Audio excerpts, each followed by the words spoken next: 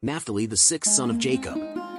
According to the book of Genesis, Naphtali was the sixth son of Jacob, the second of his two sons with Bilhah. He was the founder of the Israelite tribe of Naphtali. Some biblical commentators have suggested that the name Naphtali may refer to the struggle between Rachel and Leah for the favors of Jacob. Bilhah was the handmaid of Rachel, who was infertile at the time, and had persuaded Jacob to have a child with Bilhah as a proxy for having one with herself. According to the Targum Pseudo Jonathan, Naphtali was a swift runner, though this appears to have been inferred from the blessing of Jacob, which equates Naphtali to a hind.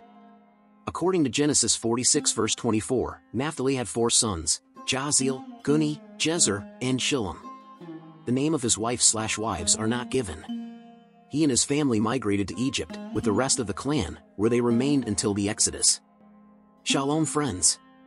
Thanks for watching, subscribe, give us a thumbs up and leave your comments down below.